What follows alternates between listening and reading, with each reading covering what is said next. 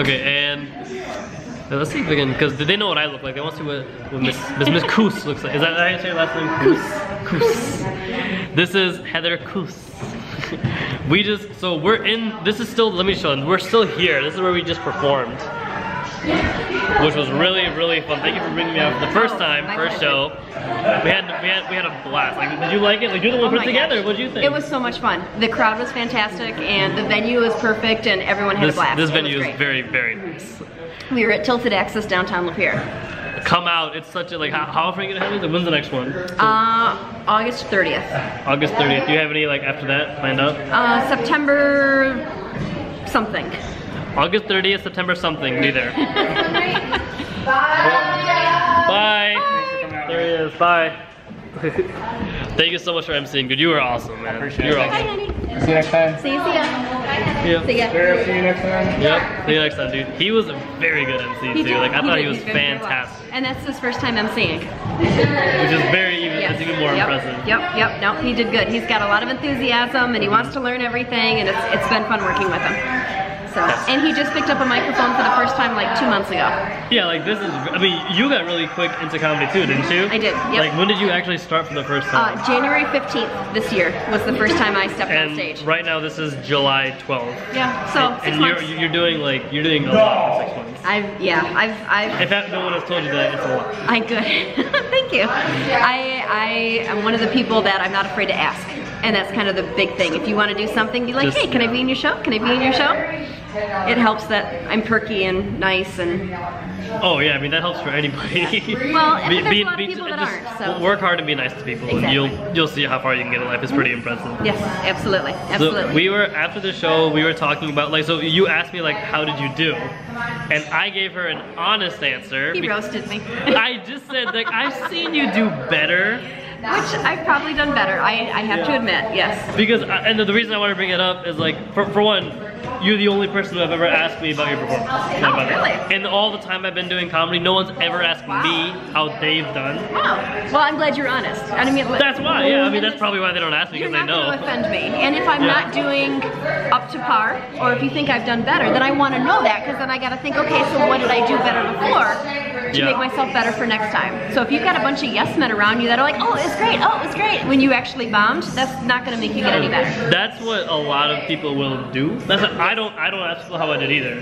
That's like I record it and I listen to myself because I know how my jokes are supposed to sound. Right. So I focus more on like, did I tell my story properly? Right. And like for, for me, the audience almost comes second. For a lot of people, it comes 1st Like for um, one of the. I'm not somebody who is applicable to be giving advice for stand-up comedy yet, I, but like one of the things I um, I focused on like this. I didn't. I didn't just do this for comedy. I applied it to like many different aspects of my life. Like if you're writing a joke, don't ask, "Does this work?" Ask, "How can I make it work?" Like that's how you get better really fast. Right. Because some people will try a new joke on like multiple audiences. They're like, "This joke doesn't work." Right. No, no, no. You telling it doesn't work. Like, Right. But but pe- uh, people don't want to hear that. I was like, I'm not insulting you. Right. I'm telling you something actually positive. That means like you can fix it. Like Exactly. it's actually the it's probably like the most positive thing that you can hear saying that it's your fault because that means you can fix it Right. if it's not your fault and Yep. something bad is happening that's the worst part that means you can't do anything about it Right. but if it is your fault then you can fix it that's what you want to hear And I want honesty, so I was I was glad. It made me laugh because I didn't expect that because nobody's ever honest when you say how you did. no it's- So. I, I- I didn't, I didn't say she sucked i just said heather i have seen you do better Well, and when you're friends with comics, you never know if they're joking or not. So, That's- so yes. it's like, mm, are you serious? I mean, yeah, I think one of the like one of the things that makes me amazing is that I can separate when to be serious and when to be funny. I think that's what pe- people like not gravitate towards me, but I- I've in recent times th- they have been more approaching me about like what do you think of this or like what's your opinion on that mm-hmm. but no one's ever asked me what do you think of my set except for you the first one to do that and I'm, I'm, I'm glad. yeah, I I could have like given you more, but just I've seen you do this exact same one, and you've done very, very different. It went really, really well the last time I did this with you. Yes. Yeah, oh yeah, Mark Montos. Oh my gosh, that was Yo, that was a show, by That- the oh way.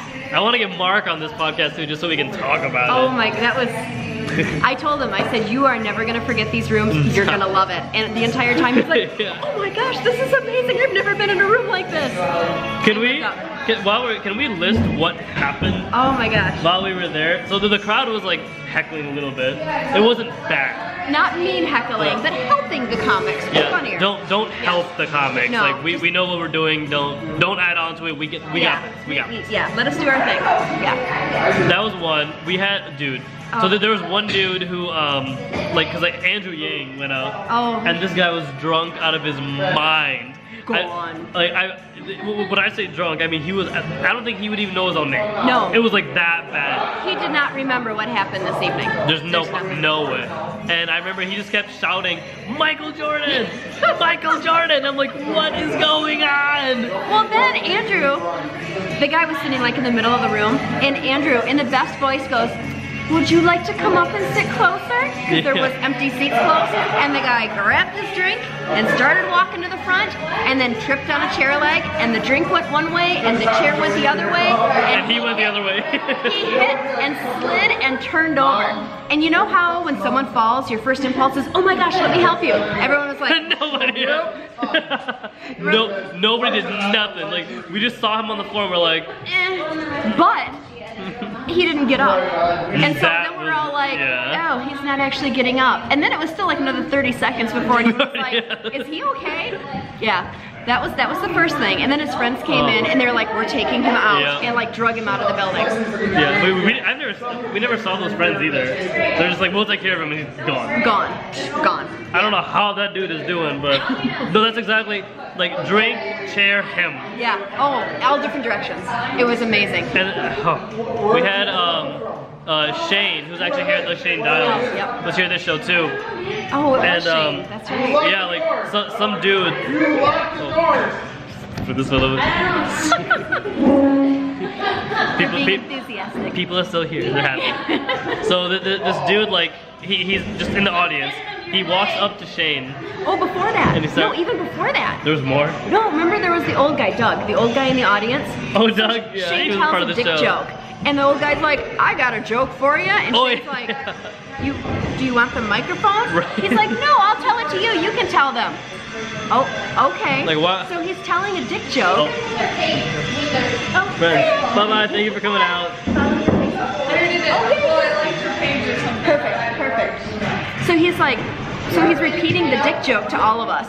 And then while he's telling the dick joke, this other old guy's making his way up to stage, up Yeah. to the stage to tell his own dick joke. And Shane's like, I honestly don't know what's happening Yeah, right no now. No one knew what was. It, it was pretty bizarre. Because Oh. while one old dude was there, he was. So this old guy was telling a joke to the comic with the mic on the stage. Like he was just standing in the audience. He was like, "I got something for you," and he was telling Shane while Shane's holding the mic, listening to this guy. and then we're like, "Okay." And then when he was done, the second dude walked up to the stage, and then they just started talking. He's like, "What is going on? Why are you guys here?" It was a dick joke free for all.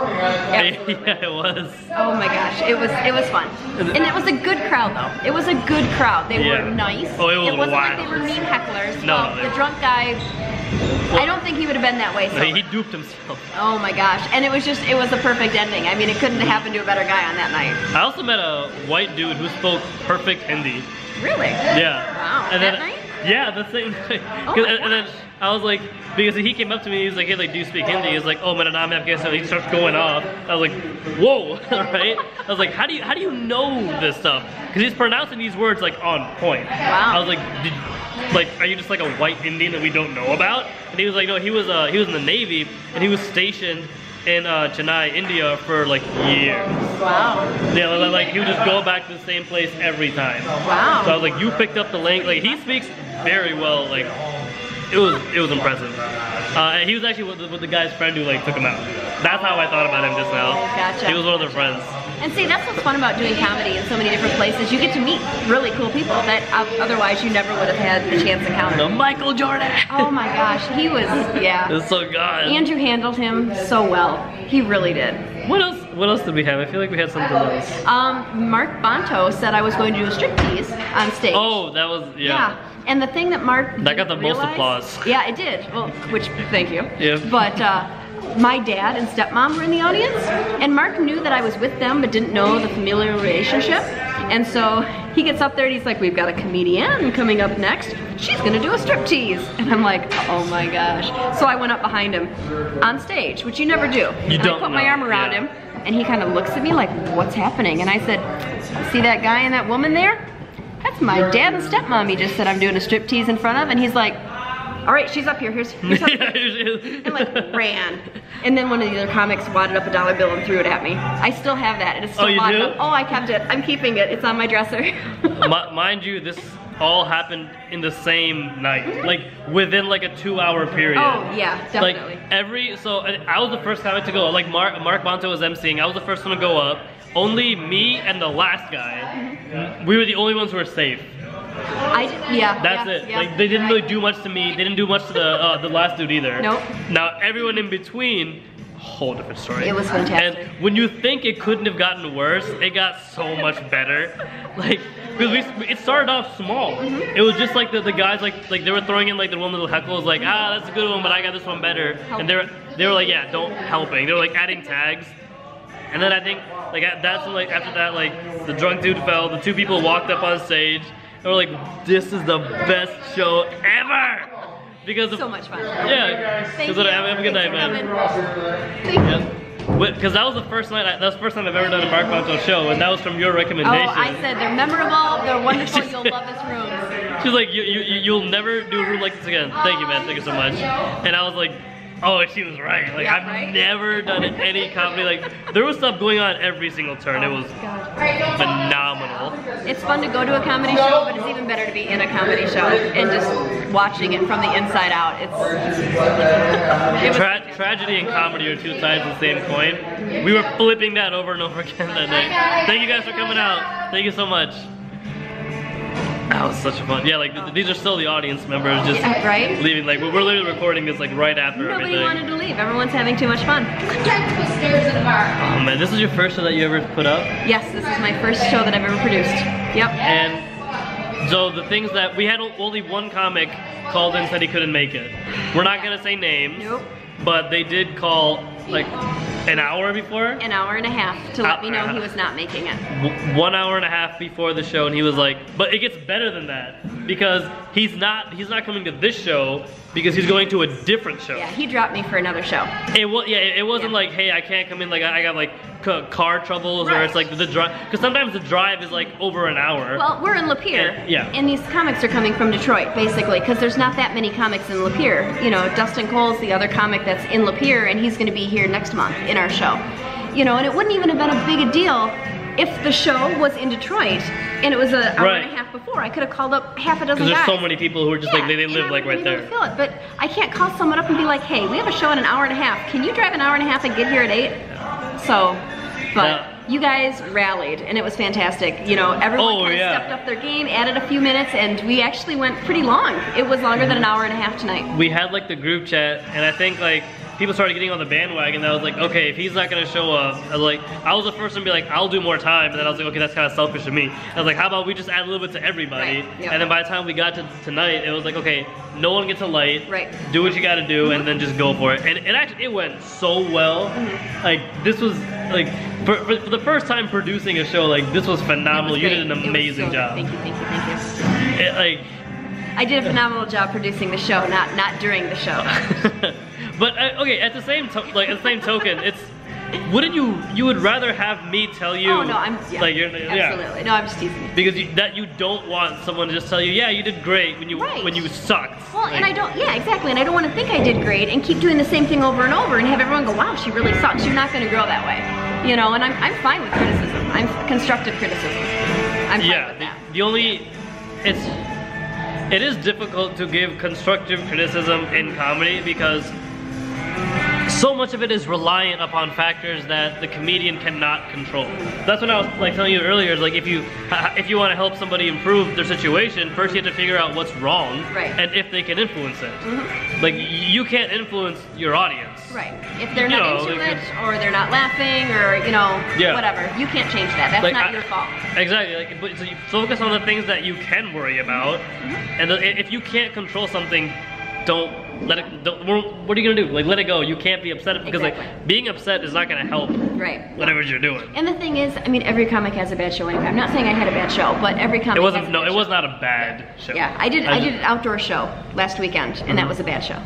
I mean, they liked it. They had fun, but, even after I got done, yeah, Ken's like, "That didn't go well." I'm like, "I know. Shh, they don't know."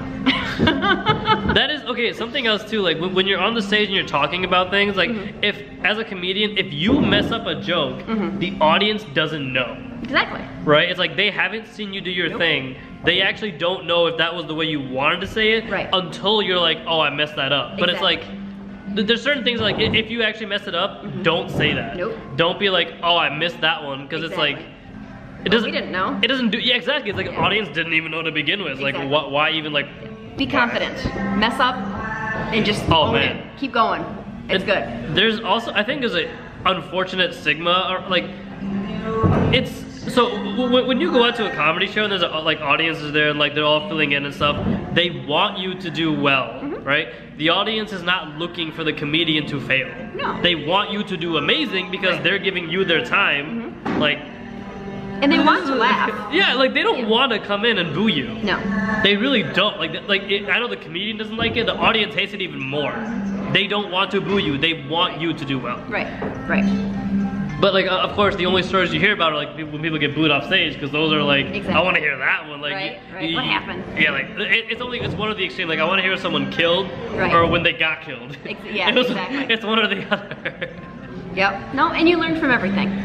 So, I- I'm so uh, one thing I'm impressed with you is like how quickly you have come up from, and we're, like I said, we're not gonna list names here, but upon talking, um, so because others have like come to me about you, and like we'll, we'll talk about it after this, but while we're here, Definitely. because there's a lot of jealous human beings in the world, Right. And I mean, for one thing, like it's act it's it's difficult to like Uh, interpret this if you're not in the correct mindset as you are. But you want people in like your local comedy scene, you want them to come up. Like you don't want if if you're the smartest person in the room, you're learning nothing.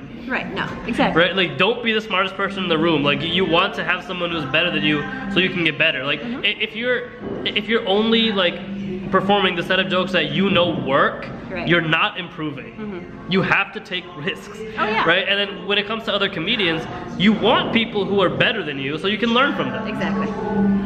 So like so for someone like you who is like you haven't been doing it very long but now you're doing stuff. Mm-hmm. That's a good sign. Because that means you don't have to do this for five years to get your own room. Right. To start emceeing. Like this is a good thing. Right. Oh yeah, definitely. Right? But it, this is not the way it's viewed. People view it as like I've been doing it for X amount of years, I should get this. But it's like you don't deserve anything. Right. Well, and that's the thing. And there's so many cool things that I've done and so many neat experiences I've had. And there's so much I want to talk to people about, but I can't. Because just like that, you know, I don't want it to sound like I'm bragging because I'm not. Because it's like, this was so cool. You got to do this. You got to do that. And they're like, screw you. I'll do it if, you know, whatever. And it's, yeah. Yeah. And so there's a lot of stuff that I really want to talk to other comics about. But because there's, like he said, you know, There's people look down jealousy. on it. Exactly. There's a lot of jealousy, and I'm not one. I never want to make anyone feel like, you know, they're lesser than doing anything. Just because, like I said, I'm not afraid to ask. I've got this personality. Well, I'll work, walk up to anybody and be like, "Hey, want a spunky ginger to do that show with you?" And generally, they're like, "Well, that was kind of funny. Sure, yeah, come, you know, come on my she show." can she can rap too by I the way. can rap. It's very uh, it's, it, a lot upcoming video is very very impressive. Thank you. Thank you very much. I think that's something else that you also like like bring to because whenever someone is doing comedy, I think the biggest difference that I, I think like when I write jokes and when I'm performing, like what I think to myself is like people don't have to listen to you, right. right? Like as an audience member, you have no obligation to be an audience member. Right. You could leave whenever you want, mm-hmm. Right? So it's like when you're actually talking on stage. Talk about shit that matters. Mm-hmm. Like you have to give the audience a reason to listen to you. Right. And I think that's lost Yeah. with many like just performers in general. It's like the audience doesn't have to be there. Right. Like you are glad they're there so you can practice on your art form, but there's no requirement. Right. And I think that's a harsh way of judging it. But I was like, you- like you have like it's because some people if they're not doing well they blame the audience. I'm like well maybe you're just not good. Like Exactly. It's a harsh reality, Bomb, bomb, yeah. bomb, bomb, bomb. There's one thing in common. Yep. So- I, I like I like that.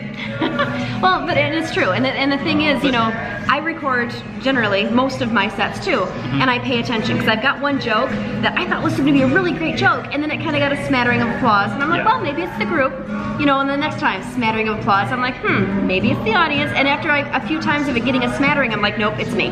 So you got to change that, and you got to pay attention to that. But keep in mind, if it if you are the problem, then that means you can fix it. Exactly. That, Oh, yeah, that is a good thing, right? Exactly. If you're the reason it's not working, that means you can adjust it. Got the power. Like, but, but people see that as a negative. I was like, no, that's one of the best Yeah. things. No, absolutely, absolutely. And I, yeah, and you can't just blame it on the audience and be all sour grapes. about Cannot. Uh, that's our time.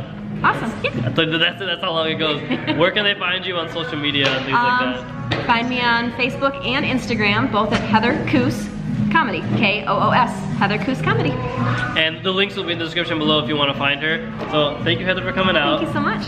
And thank you guys for watching. Stay fresh, stay golden.